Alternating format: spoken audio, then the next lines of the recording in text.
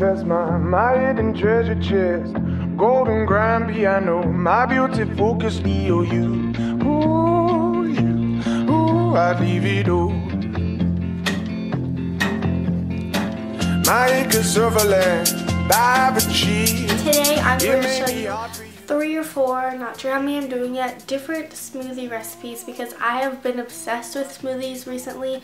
So why not do a video about it? I have found like some recipes that I really like and they're delicious and the great thing about smoothies is they're an amazing breakfast because they're really healthy they're really easy to make and they're filling so like they're the perfect breakfast and I'm going to show you guys some really good ones that I really like. You can have them as a quick breakfast and yeah. So I hope you guys enjoy this video and let's get started. For this red velvet inspired smoothie, you're going to need frozen strawberries, cacao powder, and one banana. So I'm starting off by putting my strawberries in and I put a very full half cup of that in. Then I put my banana in and I put a spoonful of the cacao powder.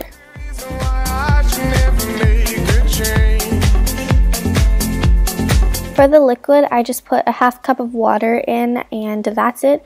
Then you just blend it up and yeah, it tastes really good and it definitely reminds me of red velvet.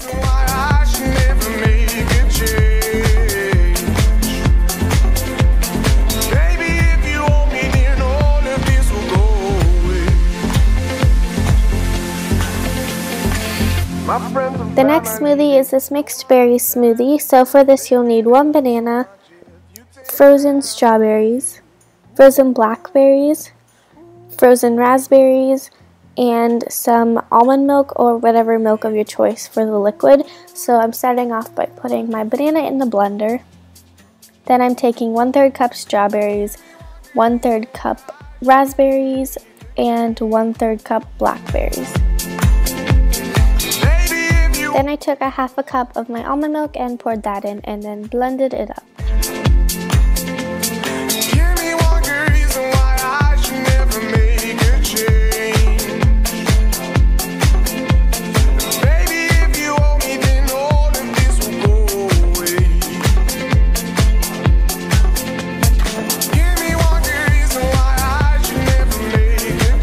The next smoothie is this mango and peach smoothie and I actually recommend doubling it because mine didn't turn out to be a lot. So I'm taking frozen mango and frozen sliced peaches and then I'm taking this Greek yogurt and some honey just to sweeten it up because the yogurt wasn't sweetened at all.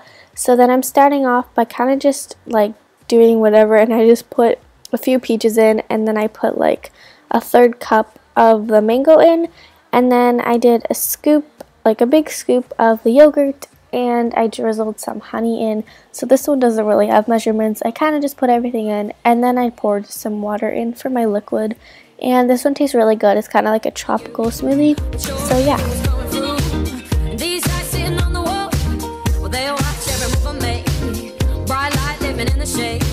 The last smoothie is this banana smoothie. I think this is my favorite by far. It is so good. So you're going to need one and a half bananas, some ice cubes, some cashew butter, and some cinnamon. And for the liquid, you will need almond milk or whatever milk of your choice again. So I'm starting off by putting my banana in the blender. Then I'm taking a spoonful of the cashew butter.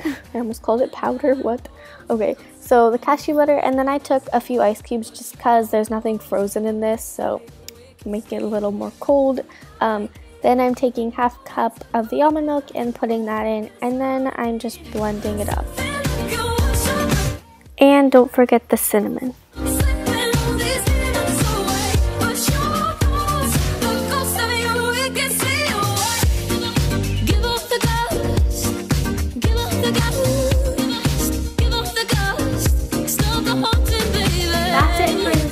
I hope you guys enjoyed it. If you did, give it a thumbs up and comment your favorite one down below or if you're going to try them out. Subscribe for videos twice a week. I'm posting Wednesdays and Sundays, so yeah. And that's it. So I'll see you guys in my next video.